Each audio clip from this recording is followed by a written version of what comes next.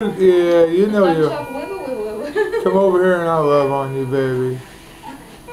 That's my other pretty, pretty, pretty, Did something just run out or something? pretty bear. Oh. Can you get through, sweetie? Come here, you little pretty thing, you. Come here. That's Tell me I'm pretty. You know you are a pretty bear. Come here. Mwah, I love you. Oh, you're so gracious to have you Except today. that I wear my hat better than you do. Well, I'm sure. I like that hat. Well, I, mean, I really do. Want to It's cool. No, that's pretty cool. Oh, Stormtrooper. stormtrooper, oh, huh? Look at that. Irma Gerd, Stormtrooper. Yep, this is for when we go to the convention and I don't feel like dressing up. Yeah, you can make a costume out of about anything, right? Pretty much, yeah. I never showed you my priestess costume. There was a movie called Priest, and it had this chick, and she had this giant red cross on her face, and all she did was wear a braid and black uh, leather.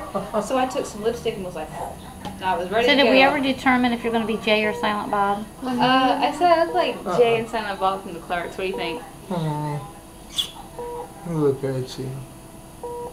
Man, I'll tell you. Hmm.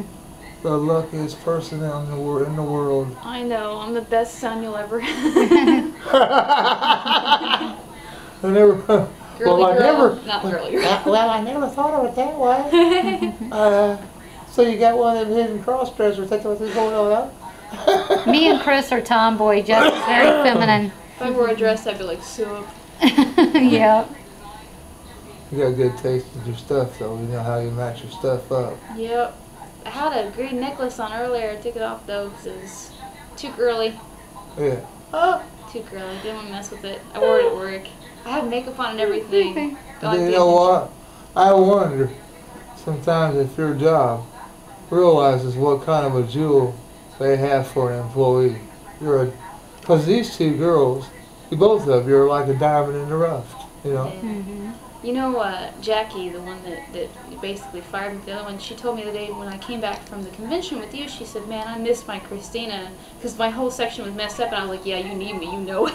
and I was like, say you missed me, and she was like, I missed you. oh yeah. yeah.